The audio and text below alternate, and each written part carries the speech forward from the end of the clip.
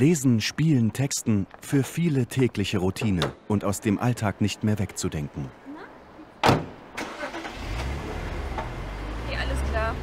Jeder zehnte Verkehrsunfall in Deutschland wird durch Ablenkung verursacht. Guten Tag. Wir haben Sie angehalten, weil Sie während der Fahrt Ihr Mobiltelefon benutzt haben. Hand aufs Herz. Dass man während des Fahrens nicht telefonieren darf, wissen Sie. Aber was gar nicht geht, ist das Bedienen des Smartphones während der Fahrt, zum Beispiel zum Texten. Das ist nicht nur dumm, sondern auch gefährlich. Oder verbinden Sie sich während der Fahrt auch gerne die Augen.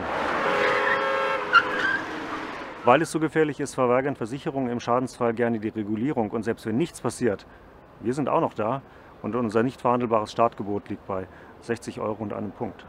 Wer kennt das nicht? Ping, eine SMS kommt rein, gern auch mal, wenn man gerade am Steuer sitzt, da will man die natürlich trotzdem beantworten. Ist das eigentlich gefährlich oder kann man das machen? Das wollen wir heute testen, und zwar mit dem Daniel von der Firma Ergonius.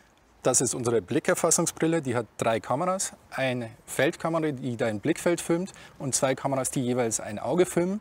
Und damit können wir dann bestimmen, wann du während der Fahrt wo wie lange hinschaust. Alles klar.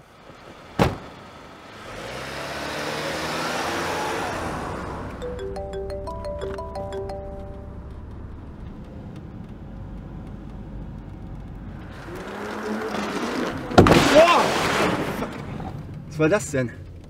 Mann, ey.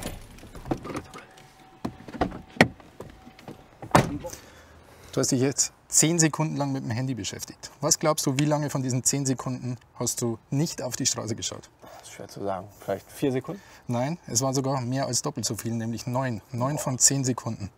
Ich habe doch immer wieder hochgeschaut.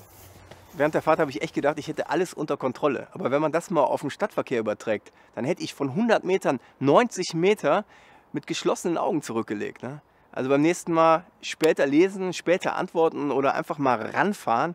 Ich hatte nichts unter Kontrolle.